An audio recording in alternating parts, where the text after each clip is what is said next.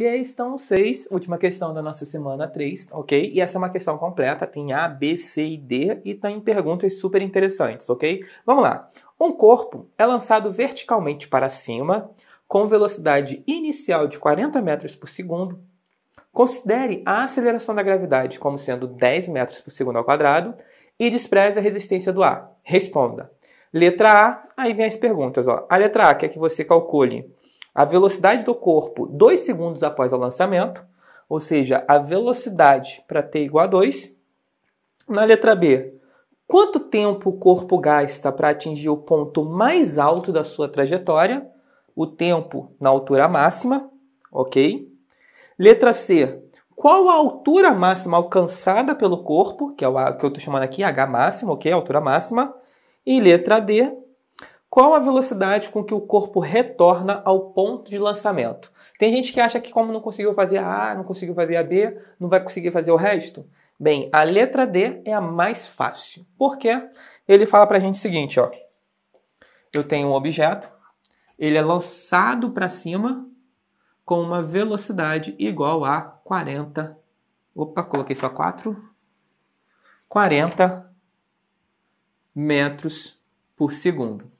Existe uma regra que é: quando eu jogo um objeto para cima com uma velocidade, ele cai no mesmo ponto com a mesma velocidade, só que no sentido contrário. A gente viu isso mais ou menos na questão anterior. Um objeto sobe ali com 30, vai perdendo velocidade, vai perdendo, vai perdendo, até parar. Depois ele ganha, ganha, ganha velocidade até voltar para onde foi lançado. Então, se esse objeto sobe com uma velocidade de 40 metros por segundo, quando ele estiver descendo e chegar nesse mesmo ponto, qual é a velocidade dele?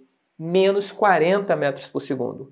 Então a resposta da letra D, já vou dar aqui para vocês, é a mesma velocidade, só que vai estar no sentido contrário, o que significa que vai ser negativa. Então a resposta é menos 40 metros por segundo. E a gente nem calculou nada. Isso é direto. Se a ida é 40, a resposta é menos 40 na volta. Beleza, agora vamos voltar aqui para a letra A e vamos resolver tudo na ordem. Primeiro, ele está pedindo para que você determine a velocidade no tempo igual a 2. Isso é, essa situação aqui, é um movimento retilíneo uniformemente variado. Nessa situação, basicamente, a gente tem duas fórmulas. São essas aqui, ó. São três, mas até agora não foi cobrado uma a terceira, então vamos falar só de duas. Vai ser S de t, né? É igual a S0 mais V0t mais A t ao quadrado sobre 2, ok? Essa, essa é chamada de função horária da posição. E nós temos v de t é igual a v0 mais a t. Essa daqui é conhecida como função horária da velocidade. Existe uma outra expressão que é a equação de Torricelli. Até agora não foi cobrada em nenhum momento do, do, nosso exercício, do nosso PET, então não vou falar dela aqui agora, que não é o objetivo passar conteúdo e tudo mais, e sim resolver o PET. Mas é super importante você é, dá uma olhada nessa expressão. Então, clica aqui no card, eu vou deixar um link, tá? Caso eu não deixe o link, vocês botem aqui nos comentários, porque eu devo ter esquecido, porque são muitos vídeos. Eu vou colocar o link aqui do card para vocês assistirem a aula sobre essa expressão que sempre cai no Enem, tá bom? Que é do Torricelli. Mas vamos lá. Uh, seguindo aqui, é, basicamente, eu só, só tenho essas duas expressões para estar tá trabalhando. Quando ele pede aqui ó, a velocidade para o t igual a 2, ele está querendo, ele está pedindo a velocidade a partir do momento que você vai colocar no lugar de t o valor 2, certo? Então eu olho para cá e o que eu tenho? Aqui eu vou precisar ó, trabalhar com posição. Eu não tenho a posição inicial, ele não deu nada sobre posição inicial e não falou nada sobre posição final. Então se eu usar essa fórmula aqui, eu vou ter um problema porque eu não sei quem são esses caras certo? Mas eu olho para cá, olha que legal. A velocidade é 40. Ele pede para a gente considerar a gravidade como sendo 10, só que é 10 para baixo, né? Não podemos esquecer disso. Vai ser a gravidade, ela é menos, vai ser menos 10, né? Gravidade é igual a menos 10 metros por segundo ao quadrado, ok? Porque está para baixo, já que a velocidade está para cima. Eu estou dizendo que para cima é positivo, então tudo que estiver para baixo é negativo. Então, a gente olha para essa expressão v para t igual a 2 é igual. Quem é o meu V0? Meu V0 foi a velocidade com que ele começou a subir. Ele sai da minha mão, quando eu jogo um objeto, ele sai da minha mão com uma velocidade de 40. É a velocidade inicial dele. Então, meu V0 é 40. Mas, agora, quem é a minha aceleração? Se aqui eu não estou considerando a resistência do ar, a aceleração recebe o mesmo valor que a gravidade. Então, a aceleração é menos 10. Então, vai ficar mais menos 10, né? Vezes, e o t que foi pedido, t igual a 2, vezes 2. Resolvendo isso aqui, ó, o v de t igual a 2 é igual a 40 Menos 10 vezes 2 vai dar menos 20, menos com mais menos, menos 20. Logo, o V de t igual a 2 é igual a 40 menos 20, 20 metros por segundo. O que era de se esperar, né? A cada segundo ele perde 10 por conta da aceleração da gravidade.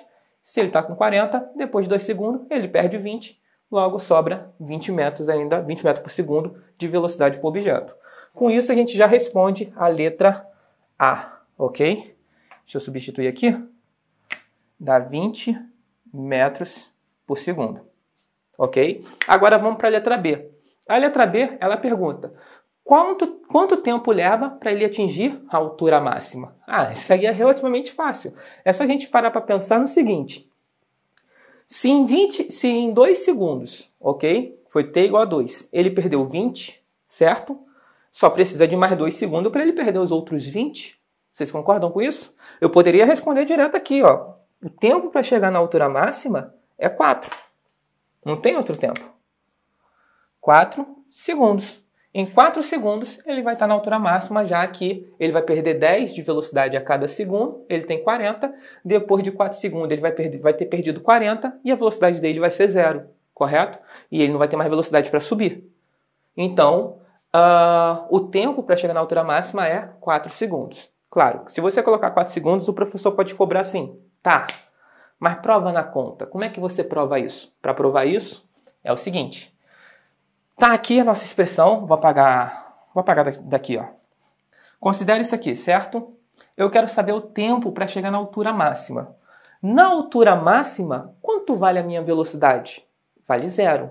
Quando ele vai perdendo, vai perdendo, vai perdendo, vai perdendo, vai perdendo, quando ele chega na altura máxima, a velocidade dele é zero. Então, considerando que a velocidade inicial é 40 e na altura máxima a velocidade é, é zero, na altura máxima vai ser a velocidade final. Velocidade inicial, que é 40, na altura máxima vai ser a minha velocidade final, vai ser zero. Então, eu vou ter essa expressão aqui, ó. Zero é igual a 40 a aceleração é negativa, né? Menos 10, menos 10 t. Ok? Essa expressão aqui traz para cá, 40 da velocidade inicial. Esse zero é porque eu estou dizendo que a velocidade final vai ser zero e realmente na altura máxima a velocidade final é zero. Aqui está a aceleração da gravidade, né, que é negativa, menos 10. Aqui eu coloquei mais menos, mas a gente resolve isso aqui, né, vai dar menos 10 vezes t.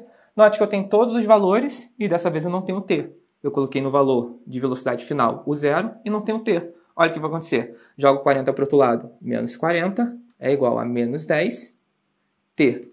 Esse menos com esse menos multiplico tudo por menos 1, aí fica mais e mais. Correto? Jogo 10 para o outro lado. O t vai ser igual a 40 dividido por 10. Corta, corta. Vai dar 4. Aqui está a conta. Tá bom? Para a nossa letra B. 4 segundos.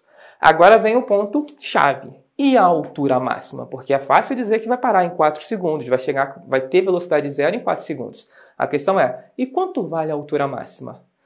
Note que a altura é uma marcação de posição, né? Quando eu falo altura 20 metros, 30 metros, isso está relacionado à posição.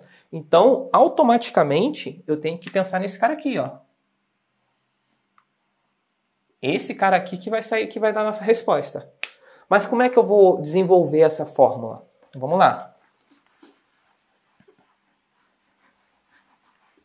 Para eu determinar um valor, certo? Eu tenho que ter todos os outros valores da fórmula. Aqui é o seguinte: o, é, o início é partindo do chão, certo? Como eu quero a altura máxima, o final vai ser a altura máxima. Então, isso aqui, ó, o S de t, na verdade, vai ser minha altura máxima, ok? Que é a posição final. Isso vai ser igual quem é a posição inicial? A posição inicial ele partiu do zero, do chão, correto? Então a posição inicial é zero, mais minha velocidade inicial, quando ele saiu do chão, era 40. 40 certo? Aí tem um detalhe. O tempo, o tempo vai passando, certo? Um, dois, três, quatro, mas só existe um tempo que está vinculado à altura máxima. Correto? Eu não posso colocar tempo igual a 2, por exemplo, porque a gente viu que no t igual a 2, ele vai ter 20 metros por segundo, ele não está na altura máxima, ele está tá subindo ainda, correto? Então o que eu preciso fazer? Eu preciso colocar no lugar do t o tempo necessário para que ele atinja a altura máxima. E nós calculamos isso na questão anterior, vale 4. Então no lugar do t, vezes 4. Aí aqui no lugar do A, ah, é, não tem resistência do A, o A automaticamente recebe o valor de G, que é menos 10. Menos 10, certo? Vezes, no lugar do T é 4, né? Então vai ficar 4 ao quadrado dividido por 2. Pronto, agora é só a gente resolver isso aí e a gente vai ter a nossa altura máxima. A altura máxima vai ser igual, zero não vai contar, 40 vezes 4. 40 vezes 4, 4 vezes 4, 16, certo? Aí coloca um zero, 160. Menos, aí entra aqui, ó, 4 ao quadrado, vamos fazer devagarzinho aqui, ó, corta esse 10 com esse 2, vai dar 5. Vezes 4 ao quadrado dá 16, certo? 4 vezes 4, vezes 16. Certo? Agora a gente vai ter aqui, ó, a altura máxima é igual a 160 menos 5 vezes 60, a gente faz assim, ó. Se fosse 10 vezes 60, seria 160. Só que como é 5, então vai ser metade. Metade de 160, 80. Menos 80. Corta, esse, é, ó, corta zero, ó. Então, 160 menos 80, a altura máxima é igual a 80 metros. Tá aqui a nossa altura máxima que vai ser atingida por um objeto jogado a 40 metros por segundo para cima, ok? Eu acho que vocês entenderam a ideia, certo? De utilizar essa fórmula porque ela está tratando de posição e o que foi pedido foi uma posição. Logo, nossa resposta aqui ó, é 80 metros de altura.